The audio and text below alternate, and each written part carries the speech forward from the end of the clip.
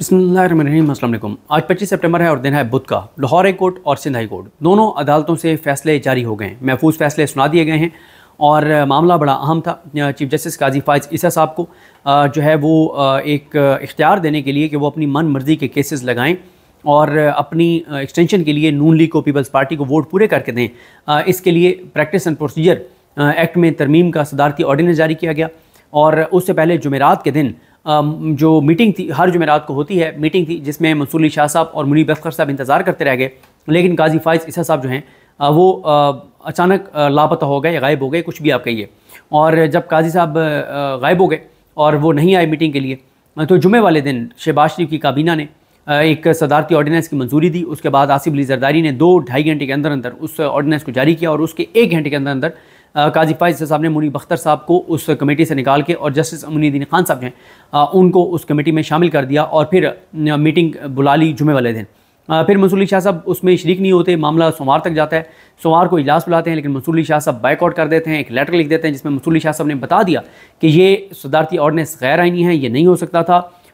मुनीब अख्तर साहब को जिस तरह से निकाला गया कमेटी से, ये दुरुस्त नहीं है और, या अफरीदी साहब को इग्नोर करके मुनीद्दीन खान साहब को जो ऐड किया गया है, ये बदनीयती है, वो सारी चीज़ें लेटर मैं आपको बता चुका हूँ कि मसूली शाह साहब का क्या लेटर था, क्या कुछ उन्होंने उसमें लिखा था।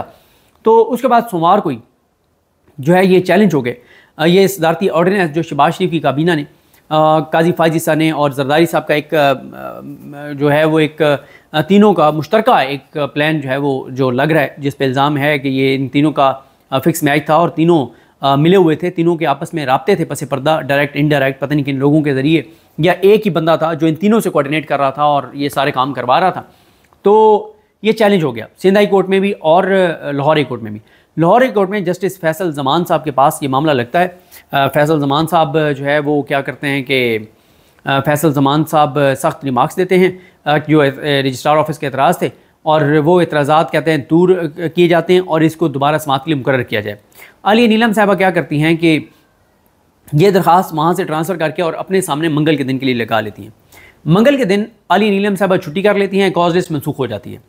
बुध को ये होता है, यानी आज आज अली नीलम साहबा ये सुनती हैं, फ़ैसला महफूज करती हैं। कल फैसला महफूज किया था सिंध हाई कोर्ट ने और आज दोनों ने एक ही टाइम पर, एक टाइम पर, ऐसे जैसे होता नहीं है कि दोनों को इकट्ठी ही मतलब एक ही टाइम पे कैसे हो सकता है? तो एक ही टाइम पे तकरीबन दोनों का ऑर्डर आ गया और सेम ऑर्डर दोनों का। मसलन पहले अली नीलम साहबा का हम देख लेते हैं, अली नीलम साहबा ने जो एक सफ़े का ऑर्डर जारी किया है, और ये भी बता दूँ कि ये जो मुनीर अहमद इसमें पटिशनर हैं, अज़हर सदीक साहब इसमें पेश हुए थे, और मिर्ज़ा नसर अहमद साहब हैं वो एडिशनल अटर्नी जनरल जो हैं, वो उनको अदालत में बुलाया था, वो भी पेश हुए थे। तो इस पर अली नीलम साहबा ने अब ये मामला फ़िक्स कर दिया कब के लिए? दो अक्टूबर के लिए। दो अक्टूबर के लिए, ताकि तीस सितंबर को जो काजी साहब ने बेंच बनाया हुआ है, जो सिक्सटी थ्री ए वाला जिसमें यह है कि फ्लोर क्रॉसिंग की इजाज़त दी जाएगी और उमरता बंदयाल साहब मुजाजुलहसन साहब और मुनीब अख्तर साहब का फैसला कलदम किया जाएगा।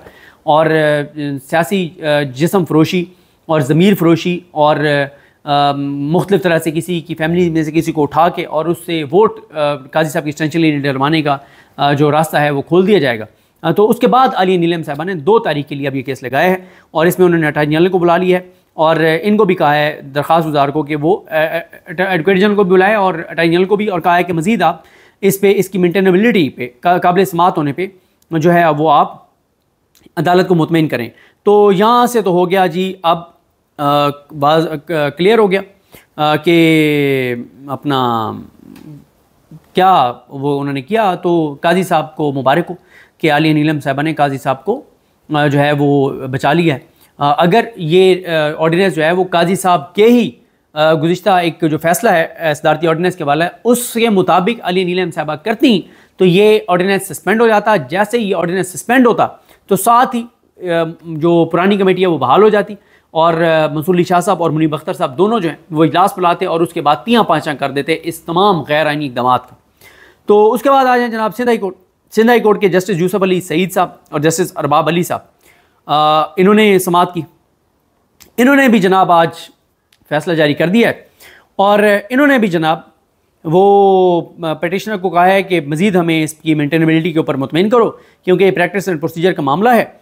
और इसलिए इन्होंने भी जनाब एडजन कर दिया है। और इन्होंने कब के लिए किया है? तीन तारीख के लिए। बड़ा हुसन इतफ़ाक़ है कि एक अदालत दो के लिए, एक तीन के लिए। हुसन इतफ़ाक़ देखिए, क्या हुसन इतफ़ाक़ है? दोनों ने सितंबर में दोबारा केस नहीं लगाया। दोनों ने एक ही टाइम के ऊपर फैसला जो है वो जारी किया है। तो हुसन इतफ़ाक़ हो सकता है, ज़ाहिर है, और और क्या इसको कह सकते हैं? तो हुसन इतफ़ाक़ है बहरहाल जी। दोनों अदालतों ने फैसला सुना दिया। दोनों ने काबिल समात होने पर अभी मज़ीद दलाइल जो है वो तलब कर ली हैं। और दोनों ने जनाब बुला लिया है अटर्नी जनरल साहब को। और ये आपको बता दूँ कि जो सिंध हाई कोर्ट में दरख्वास्त थी, इसमें इब्राहिम सैफुद्दीन साहब जो हैं, वो थे वकील और ताहिर महमूद साहब थे। पटिशनर की तरफ़ से। तो ये दोनों ने एक एक सफ़े का दोनों अदालतों ने एक एक सफ़े का ऑर्डर जारी किया है और दोनों अदालतों ने आ, कोई ऐसा काम नहीं किया जिससे काजी फाइज इस साहब के प्लान को धचका लगे काजी फाइज साहब के प्लान को नुकसान पहुँचे और काजी साहब ने वो जो बेंच बनाया है सिक्सटी थ्री ए वाला आ, उसको कोई मसला हो आ, तो ये बहरल काजी साहब जो है उनके लिए एक अच्छी खबर आई है। इससे पहले कल काजी साहब के लिए अच्छी खबर आई थी कि आली नीलम साहबा ने सिकंदर राजा के साथ एक पेज पर आ गई हैं। और दोनों ने एक पेज पर आके और रिटायर्ड जज लगाने का इतफाक़ किया है कि चार रिटायर्ड जज लगाए जाएँ और आज़ाद जजेज़ जो थे, जो जस्टिस मलिक शहजाद के नाम थे छः उनमें से चार जो हैं, उनके नाम ड्रॉप कर दिए हैं अली नीलम साहबा ने और दो जो हैं, उनको ऐसे डिवीज़न दिए हैं, ऐसे एरियाज़ दिए हैं, जहाँ से ऑलरेडी पीटीआई जो है वो सारी सीटें जीती हुई है तो उनको वहाँ से कोई ख़तरा नून लीग को नहीं होगा। तो ये है जनाब मामला और तीसरे मामले पे बात कर लेते हैं।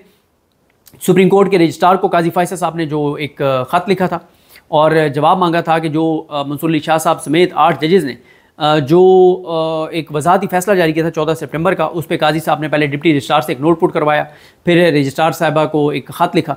उस पर रजिस्ट्रार साहबा ने जो जवाब दिया है काजी फायसा साहब को, उस पर अब ख़बर सामने आई है कि उसमें रजिस्ट्रार साहबा ने चीफ जस्टिस को रिपोर्ट जो भिजवाई है, उसमें उन्होंने कहा है कि जो वजाती फ़ैसला जारी किया गया, उसकी कोई कॉज जारी नहीं हुई थी और प्री कैन को नोटिस भी नहीं भेजे गए थे।